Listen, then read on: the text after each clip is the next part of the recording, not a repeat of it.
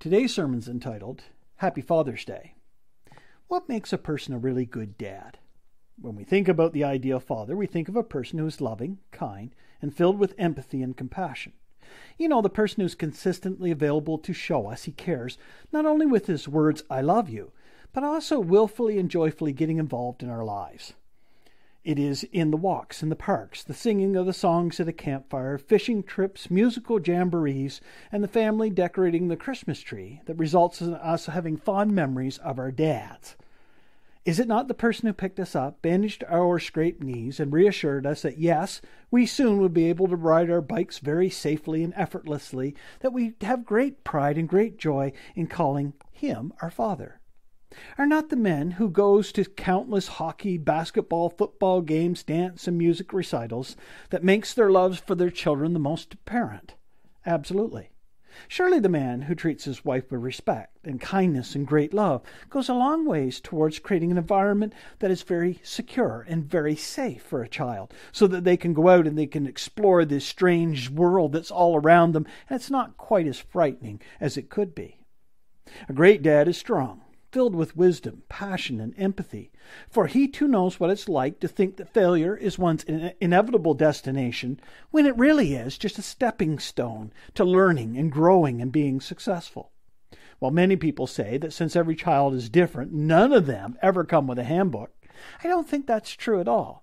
There is a handbook for all of our children. It's called God's Holy Word. It's a beautiful love letter that God has written to us, and He outlines His expectations of us raising His children. So we got to read that and then trust, trust that God's going to help us get on the right path. The following sermon is not going to review every single characteristic that makes a really good dad.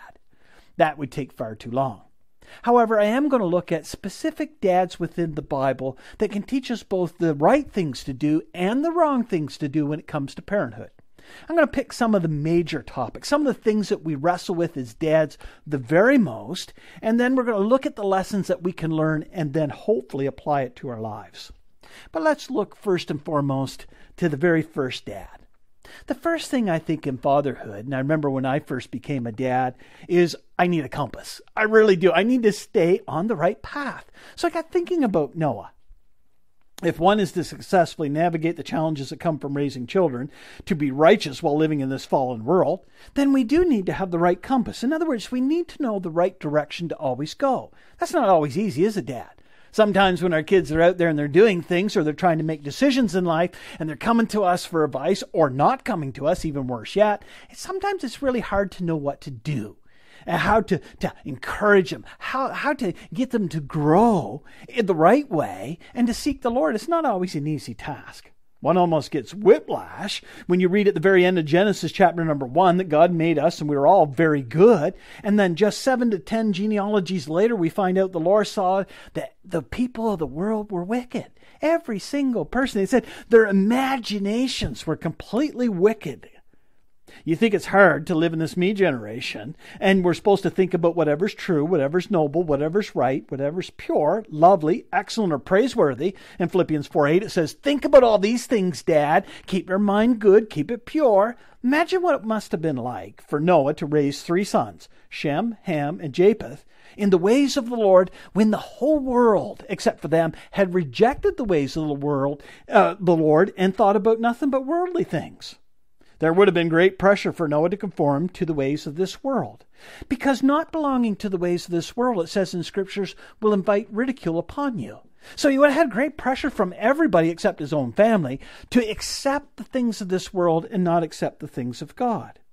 Anyone can handle momentary criticism, and I think we all can. Nobody minds, well, we mind it a little bit, but not too too much, to be criticized from once once in a while. But what do you do when you go through what Noah went through and his family? It took them approximately 55 to 80 years to build the ark.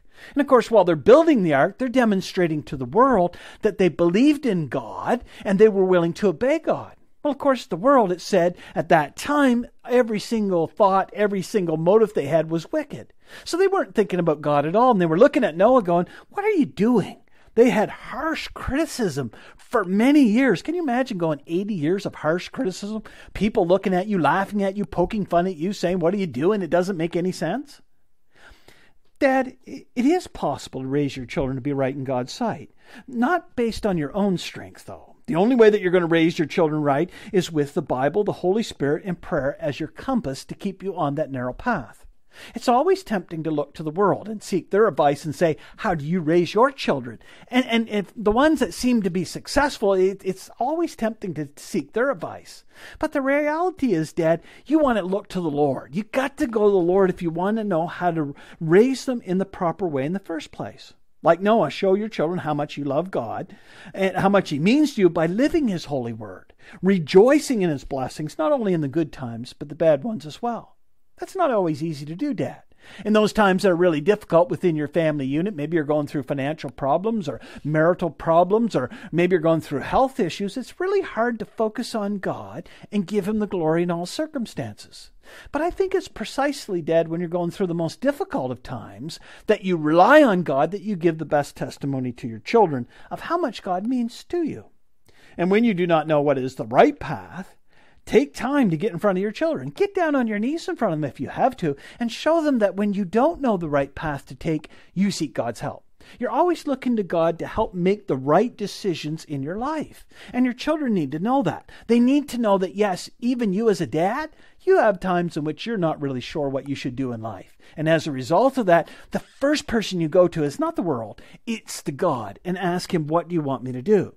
Looking upon the Lord gives you wisdom, strength, I think truth, courage to follow in his footsteps. And your children need to see that struggle for you to get there, but they need to see you picking up the compass of God's holy word and his spirit and in prayer and saying, Yes, Lord, lead me and I will follow. Dad, may your children never see you conforming to the patterns of this world, Romans 12, 1 to 2, but instead see you always inviting the potter, the Lord Jesus Christ, to transform your mind into the image in which you are fearfully and wonderfully made. Psalms 139. They need to see that, Dad. Very much so. Because they're going to go through struggles, trials, and tribulations themselves. And they're going to have a lot of unknowns, especially when they're younger. And they're not going to understand what they should do. And when they struggle with that, they're going to be tempted to go out in the world and get advice there. That's not where they, you want them to go. You want them to go to God. So show them by your own actions how important it is to seek advice from God the Father in heaven. That's the first thing. So pick the right compass if you want to be a really good dad. The second lesson to learn is course corrections are absolutely necessary. Don't be too proud and don't be too arrogant, Dad, to say, I'm on the wrong path. I need to turn around. I need to go in a different direction completely because I'm not going where God wants me to. Dad, no matter how badly you fall short of God's glory, and we all do from time to time, show your children how important it is to offer your Creator a contrite and a broken heart and ask for forgiveness. Yes, Dad, there'll be many times that you won't be on the right path. And you're going to have to ask God, please forgive me, Lord. I'm not on the right path and I know it. And I've got to make a course correction. Help me to do that. I want to talk about this other dad, and he's an example of not necessarily a very good dad, but he turned out well in the end. This guy, King Manasseh. And when he was 12 years old, he becomes king of all Jerusalem. Second Chronicles 33.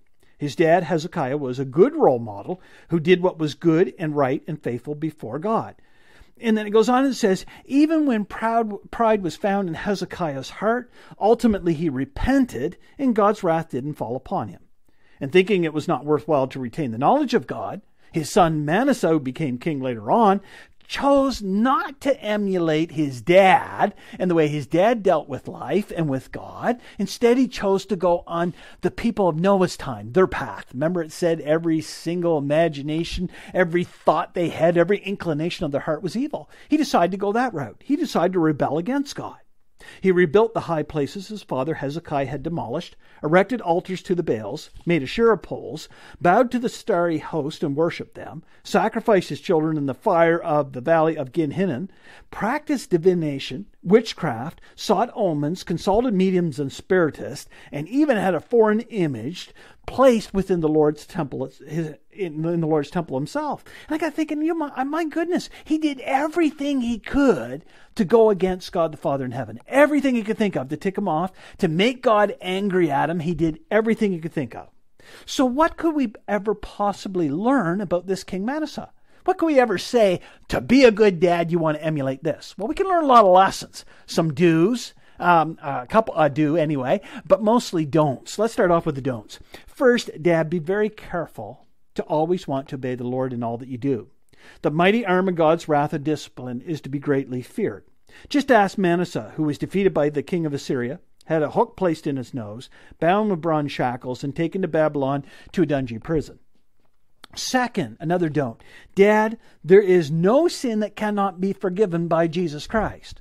So make sure, Dad, that when you fall short of God's glory, that you're willing to ask for forgiveness. And this is a don't.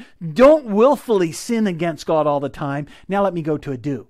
Do repent when you actually fall short of God's glory. That's the do, and that's what he did. It says in Scripture that thankfully the sort story had a really good ending. Manasseh greatly humbled himself, and he sought the Lord. He said, I got my compass out and I realize I'm on the wrong path. I got to make a course correction. I got to go a 180 degree turn and go in the opposite direction I've been going.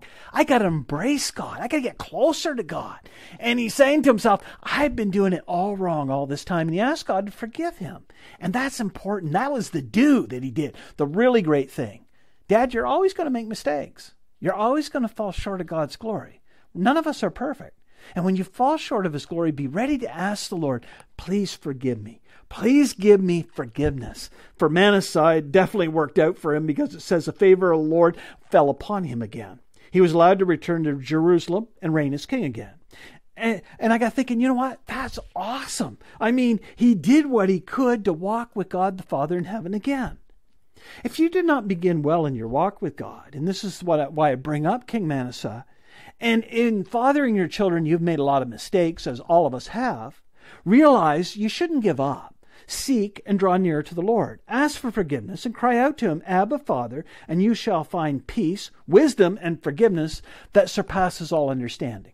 God is very gracious. He knows and He understands the things that we go through. And he doesn't say it's okay that we go against him, but he also understands how desperately we need to be forgiven and cleansed from all unrighteousness. So, Dad, when you really blow it, doesn't mean that you're going to always be a bad dad. Manasseh proved that. The reality is you can ask God to forgive you, and the moment that you do, He's going to cleanse you from all unrighteousness, and then get on the right path and live a good and holy life and show your children what it means to submit to God. So we got King Manasseh, who's kind of some don'ts and some do's, but certainly make the right course corrections. Lesson number three trust God with the unknown future. To be a good father, one must trust the Lord with the unknown events in your life. Dead, we often face decisions concerning our children that are impossible to ensure a good outcome because simply there's no way of knowing the complexities of our current situation or what the future might possibly bring. In moments like these, the Bible tells us to trust in the Lord with all of our heart. Lean not unto our own understandings, but in all ways submit to Him, and He will make our paths straight. Proverbs 3 5 to 6. While this sounds simple. It is very difficult to surrender our desire to have control over what is impossible to know, the unknown future, even to God who controls all things seen and unseen.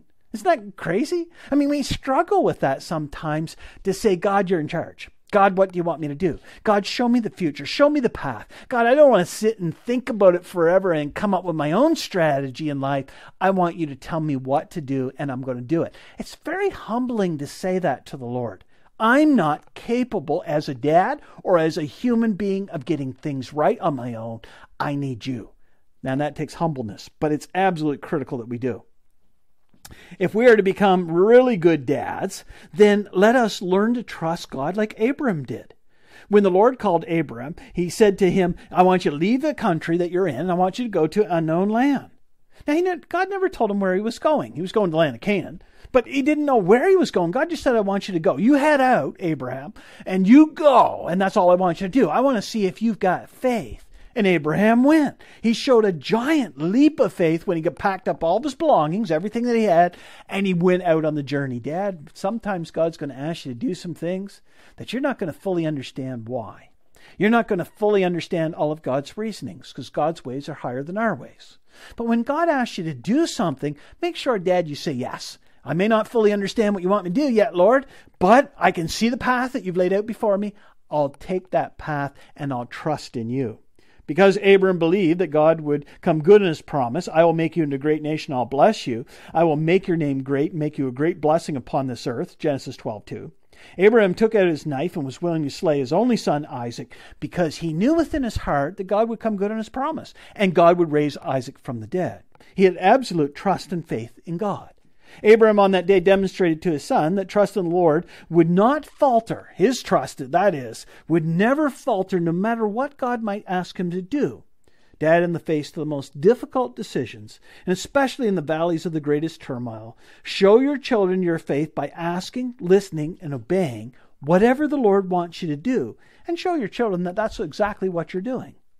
It's okay to tell the Lord that you often do not know how to rightly love, nurture, train, and protect the children He's placed in your care. It's okay to cry out to God, for when we do, He will tell you His perfect and pleasing will for your children and give you the strength, courage, and the ability to show them the narrow path that leads to righteousness through your faithful example of what it means to be holy. So that's really the, the third thing. Trust in the Lord with the unknown future. Now I want to go to the uh, fourth example here. And it's don't overlook your child's wanderings. And this is really important, Dad, that you don't do this. I want to talk about uh, um, when your children wander away from the Lord, what do you do? Well, don't stand by idly. Don't stand by and say, I'm not going to do anything about it whatsoever. And, but instead, if you have to, discipline them if need be to help them understand how grievous it is to disobey the Lord. Let me tell you a story. Now, I know that as soon as I just told you that, you're going to say, yeah, but should we really try to get our kids to love the Lord? And should we really discipline them when they don't? And should we even discipline our kids at all? Let me tell you a story first, and then I'll tell you my answer to that. Let us let me tell you about Eli. Eli was a high priest. He ignored his son's wanderings.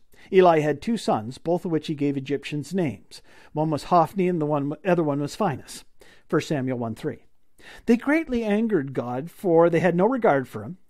They treated him with contempt by making offerings unto him uh, that, that were not prescribed in the way they were supposed to. He also had they had great contempt for all the Israelites that came to the to the temple. He also they laid with a whole bunch of women who were serving at the entrance tent of the meeting, and as a result of that, they angered God greatly.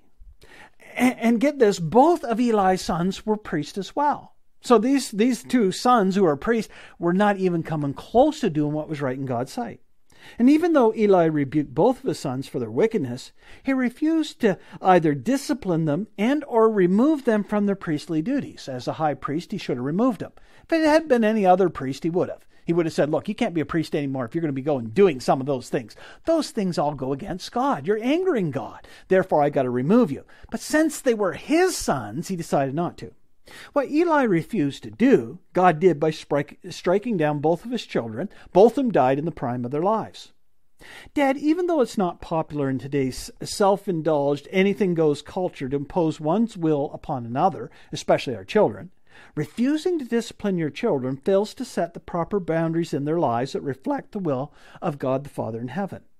Remember, God disciplines those he loves, and he chastens everyone he accepts as a son. Hebrews 12 6. Dad, in disciplining your children, be careful though. When I talk about discipline, of course, there's always going to be somebody out there listening to this possibly saying, yeah, yeah, but you know what? People in the past really disciplined their kids harshly and cruelly, and it was awful. And, and I don't know, discipline's an awful bad word. I understand where they're coming from. There are many dads out there that discipline their kids in a way they shouldn't, in a way that is not considered okay. It's very cruel and it's wrong on so many levels. But that's not the discipline the Bible's talking about. The Bible says when you discipline your children, do not embitter them, do not exasperate them, but instead, with great humbleness, gentleness, and with a constant willingness to forgive with open arms, choose whatever a loving and merciful God tells you to do in order to correct their behavior. In other words, it's not about you, Dad, getting angry and bitter because your kids didn't do what you said. It's about you going in front of God and saying, God, they have broken your laws, Lord, and they've gone against you, Lord. What do you want me to do to help correct their behavior? And doing that in great humbleness, realizing that you're a sinner too. You know what? That's really important. And, Dad, if discipline doesn't work, and sometimes it doesn't, some kids you can discipline as much as you want, and they're still not going to listen. If that doesn't work, never give up. Always pray without ceasing. And, and whatever you can do is get in front of God and say, Lord, I can't help. I can't fix this situation. I'm going to live my life the best I can and show my children what are the right ways, but they're not listening to me. But God, I know you can remold them, reshape them, and get them back into your image again. I know you're the only one that can do that, God. So would you help me, Lord, do the right things in front of my children? Never stop inviting the, your children to be transformed and have their minds renewed by God the Father in heaven. So remind them, not only in the way you live, but remind them verbally that you're not in the right path and there's the path that God wants you to go. Just one fa- final word on this fatherly lesson. Despite how wayward our children becomes ultimately, let, let us always send an example to them. Let's tell them how much we love them, how desperately want, we want them to accept the ways of the Lord. Let's sh- show them by the way we live our lives. So that's important. So discipline is absolutely critical for, for us to be good dads. Lesson number five don't show favoritism. And I think this is a really big one. And, Dad, I don't really think we do this on purpose. Love your children equally and fully without favoring one over the other. We don't really want to favor our children, but sometimes ultimately we're tempted to do so. We have all heard the expression mama's boy or daddy's girl or you know daddy's daddy's boy we've all heard these expressions where you know what one parent favors a child over the other and that never should be the case when one of our children more closely resemble our talents dreams and goals or are exceptional at doing certain things that makes us really proud dad there's always a temptation to either love them more which sometimes happens or at least to give them so much praise that it appears like we're loving them more than the other children. And that crea- creates a lot of problems with the other kids in the family. I'll give you an example. Jacob lived in the land of Canaan and had 12 sons. That's quite a lot. Because one of his sons, Joseph, was born in his old age, the Bible states that Joseph loved this son more than all the other ones, and openly showed his favoritism by made a robe of many colors and placed it upon him. When Jacob's other sons saw that their father loved him, them, this, this other brother far more, the one son more than them, they started to hate him, and they couldn't speak a kind word ever to him. So enraged with hatred for Joseph that they initially plotted to basically kill him, but then they decided, well, that's a little bit drastic. We don't want to do that. So they decided to sell him as a slave to the Ishmaelites for a mere 20 shekels of silver. In other words, let's get rid of him so he's no longer in the family. To make things even worse, they dipped Joseph's robe in goat's blood, presented it to their father, and said, He's dead. He's long gone. Stop thinking about him. Now love us, is basically what they were saying. Of course, their dad, Jacob, was absolutely heartbroken. Even though God used Joseph's bleak circumstances to prepare, prepare him for the way, ultimately become second in command of all Egypt and save many lives, Jacob uh, Jacob did much damage to his family as a dad because he showed that favoritism. There was many years that these these there was friction within the family that never should have been there in the first place. Dad, your children are fearfully and wonderfully made in the image of their Creator. They have all been purchased at the price of the blood of the Lord Jesus Christ, John 3:16. And they can be saved and they can receive the spiritual gifting needed to fulfill whatever divine role God assigns to them, 1 Corinthians 12. Whatever role God des- decides to give them is the perfect role for them. And as long as they're doing that role, they're of equal value in God's sight. Your role is to show them, your children, the eyes of Christ in the way you live your life and to instruct them in the ways of the Lord. Deuteronomy 6 4 to 9. You are to love your sons and daughters equally and to never stop helping them to grow in their faith.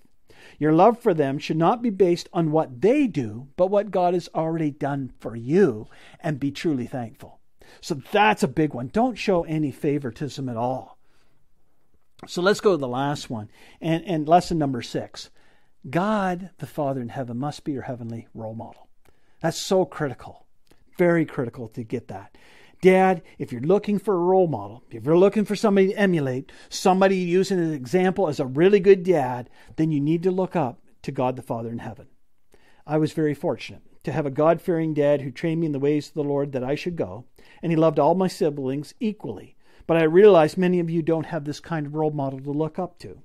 Unfortunately, there are many dads out there that are abusive, non loving, unkind, and absolute God haters. If you happen to have such a dad, to whom are you supposed to look to for a role model then? If you're sitting back saying, you know what, I got my own children now, my dad was miserable to me, maybe he was even abusive to you, then who do you look for a really good role model? I would encourage you, even if you did have a good dad, make sure you always pick God the Father in heaven as your role model, because that's absolutely critical. We need to emulate God because He's perfect. It states He has never sinned. He's never fallen short of, of God's glory at all because He is God. He is perfect in every way, shape, and form. He knows us, every piece of us, our heart's desire, and everything else. And as a result of that, as our Creator, our Lord, Savior, and King, He alone is worthy to teach us how to live good and holy lives. Scripture states that we've all sinned and fallen short of God's glory, every single one of us, Romans 3.23. And if anyone says of us, any of us, hold ourselves up and say, I'm a really good dad, use me as a role model, well, here's the reality. We have all sinned and fallen short of God's glory. We all have sin within us right now as we speak. We all do. We all have a problem with sin. Therefore, we're not perfect. God the Father in heaven is, though. If we aspire to become like any dad in the Bible, then God is the one we should aspire to become like. He who knit us in our mother's wombs is the only one who truly knows what his divine plan is for our children's lives. Only God is sinless, all powerful, all knowing, and filled with truth and justice for everyone.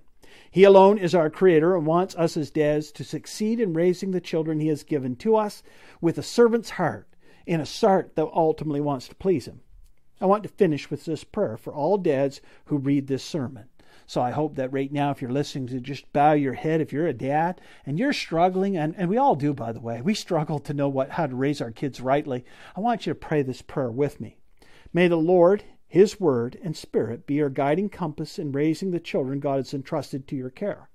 When you sin against God, may you confess and get back onto the narrow path of righteousness. When you do not know how to raise your children rightly, then may you turn not to the world for advice, but to the known God of Israel and seek and obey his counsel. May you discipline your children not to embitter or exasperate them, but in great humbleness, gentleness, and with constant willingness to forgive with open arms.